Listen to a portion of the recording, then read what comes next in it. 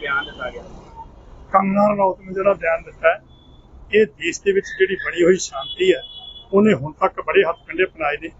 ਉਹਨੇ ਐਮਰਜੈਂਸੀ ਜਿਹੜੀ ਫਿਲਮ ਬਣਾਈ ਉਹਦੇ ਤੇ ਵੀ ਉਹਨੇ ਚੱਲਦੇ ਕਿਸਾਨ ਅੰਦੋਲਨ ਦੇ ਵਿੱਚ ਪਹਿਲਾਂ ਵੀ ਸਾਡੀਆਂ ਧੀਆਂ ਭੈਣਾਂ ਦੇ ਖਿਲਾਫ ਉਹ ਬੋਲੀ ਤੀ 100 ਰੁਪਏ ਦੇ ਦਿਹਾੜੀ ਦਿੰਦੀਆਂ ਨੇ। ਉਸ ਤੋਂ ਬਾਅਦ ਵੀ ਉਹ ਬਹੁਤ ਕੁਝ ਬੋਲ ਰਹੀ ਆ ਤੇ ਉਹਦਾ ਅੱਗੇ ਖਮਿਆਜਾ ਨੂੰ ਭੁਗਤਣਾ ਵੀ ਪਿਆ। ਪਰ ਮੇਰਾ ਖਿਆਲ ਹੈ ਕਿ ਉਹਦੀ ਤਸੱਲੀ ਨਹੀਂ ਹੋਈ। ਇਹ ਕੰਗਨਾ ਰਣੌਤ ਜਿਹੜੀ ਆ ਇਹ ਬੀਜੇਪੀ ਦੀ ਬਲਾਈ ਬੋਲ ਰਹੀ ਹੈ ਔਰ ਇਹ ਚਾਹੁੰਦੇ ਨੇ ਕਿ ਦੇਸ਼ ਦੇ ਵਿੱਚ ਜਿਹੜੀ ਹੈ ਸ਼ਾਂਤੀ ਨਹੀਂ ਰਹਿਣੀ ਚਾਹੀਦੀ ਦੇਸ਼ ਦਾ ਮਾਹੌਲ ਜਿਹੜਾ ਇੱਥੇ ਅੱਗ ਲੱਗਣੀ ਚਾਹੀਦੀ ਆ ਸਾੜ ਫੂਕ ਕਤਲੋ ਗਾਰਤ ਹੋਣੀ ਚਾਹੀਦੀ ਆ। ਤਾਂ ਕਰਕੇ ਇਸ ਤਰ੍ਹਾਂ ਦੇ ਜਿਹੜੇ ਬਿਆਨ ਜਿਹੜੇ ਆ ਇਹ ਕੰਗਨਾ ਰਣੌਤ ਦੀ ਹੈ ਜੀ ਕਿਸਾਨੀ ਅੰਦੋਲਨ ਦੌਰਾਨ 500 ਤੋਂ ਵੱਧ ਕਿਸਾਨ ਸ਼ਹੀਦ ਹੋ ਗਏ ਸੀਗੇ। ਤੇ ਹੁਣ ਕੰਗਨਾ ਕਹਿ ਰਹੀ ਕਿ ਫੇਰ ਤੋਂ ਕੇਂਦਰ ਸਰਕਾਰ ਨੂੰ ਸੋਚਣਾ ਚਾਹੀਦਾ। ਕਿ ਇਹ ਜਿਹੜੇ ਖੇਤੀਬਾੜੀ ਕਾਨੂੰਨ ਸੀ ਕਿਤਨਾ ਕਿ ਕਿਸਾਨਾਂ ਦੇ ਹੱਕ ਦੇ ਲਈ ਸੀ 750 ਕਿਸਾਨ ਜਿਹੜਾ ਉਸ ਟਾਈਮ ਦੇ ਸ਼ਹੀਦ ਹੋਇਆ। ਸਾਡਾ ਖਰਚ ਕਿੰਨਾ ਹੋਇਆ? ਅਸੀਂ ਕਿਸ ਤਰ੍ਹਾਂ ਉੱਤੇ ਤੂਫਾਨ ਦੇ ਵਿੱਚ ਜਿਹੜੇ ਕਿੰਨੇ ਬੰਦੇ ਸਾਡੇ ਜਿਹੜੇ ਉਹ ਜ਼ਖਮੀ ਹੋਏ। ਕਿੰਨੇ ਅੱਜ ਵੀ ਸਾਡੇ ਕਈ ਲੜਕੇ ਜਿਹੜੇ ਨੇ ਜਿਹੜੇ ਉਹ ਬੰਜੀ ਦੇ ਉੱਤੇ ਰੋਲ ਰਹੇ ਨੇ, ਜਿਹਦੀ ਆ ਜਿਹੜੀ ਹੈਗੀ ਆ ਡਿਸਕ ਦੀ ਪ੍ਰੋਬਲਮ ਜਿਹਨਾਂ ਨੂੰ ਆ ਗਈ ਜਾਂ ਕਈਆਂ ਨੂੰ ਹੋਰ ਜਿਹੜੀਆਂ ਮਤਲਬ ਆ ਗਈਆਂ ਆ ਜਿਹੜਾ ਹੁਣ ਅੰਦੋਲਨ ਚੱਲ ਰਿਹਾ, ਇਹਦੇ ਵਿੱਚ ਸ਼ੁਭ ਕਰਨ ਦਾ ਕਤਲ ਜਿਹਦੇ ਚ ਪ੍ਰਿੰਤਪਾਲ ਸਿੰਘ ਨੂੰ ਬੋਰੇ 'ਚ ਪਾ ਕੇ ਪੰਜਾਬ ਹਰਿਆਣੇ ਦੇ ਗੁੰਡੇ ਪੁਲਿਸ ਵਾਲਿਆਂ ਵੱਲੋਂ ਲੈ ਜਾਣਾ, ਉਹਦੀ ਹਾਲਤ ਕਰਨੀ।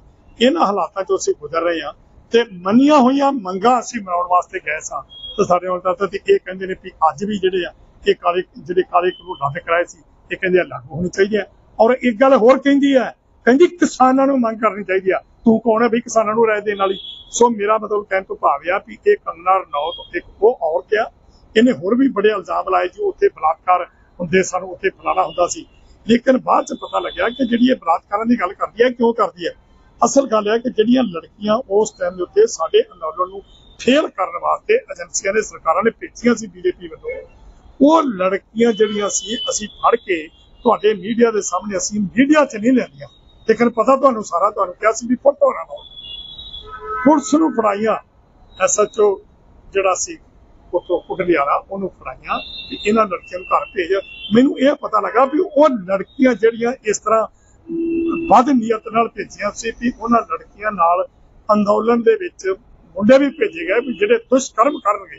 ਤੇ ਉਹ ਮੁੜ ਕੇ ਕਿਸਾਨਾਂ ਦੇ ਜੁਮੇ ਲਾ ਕੇ ਲਾਲਾ ਲਾਲਾ ਕਰਕੇ ਸਾਡੇ ਅੰਦੋਲਨ ਫੇਰ ਕਰਨਾ ਉਹ ਲੜਕੀਆਂ ਮੈਨੂੰ ਇਹ ਪਤਾ ਲੱਗਾ ਕਿ ਉਹ ਕੰਗਣਾ ਰਣੌਤ ਨੇ ਭੇਜੀਆਂ ਸੀ ਕਿ ਤਾਂ ਸਾਡੇ ਤੇ ਮਤਲਬ ਇਸ ਤਰ੍ਹਾਂ ਬਦਲ ਜਿਸ ਤਰ੍ਹਾਂ ਜੀ ਸਾਂਸਦ ਹੋ ਕੇ ਸਾਰਾ ਬਿਆਨ ਉਹ ਦੇ ਲੱਗਦਾ ਕੋਈ ਕਿਸਾਨਾਂ ਵੱਲੋਂ ਕੋਈ ਕਾਰਵਾਈ ਦੀ ਮੰਗ ਕੀਤੀ ਜਾ ਰਹੀ ਸਾਨੂੰ ਇਹ ਤੇ ਕੋਈ ਇਹਦੇ ਇਹੋ ਜਿਹੇ ਜਿਹੜੇ ਨੇ ਬਹੁਤ ਰੌਲਾ ਪਾਉਂਦੇ ਨੇ।